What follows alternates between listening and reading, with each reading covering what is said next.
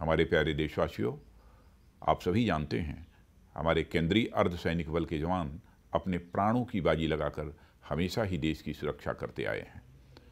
हमारे राष्ट्र की एकता व अखंडता को कायम रखने में हमारे बहादुर जवानों का अतुल्य योगदान रहा है।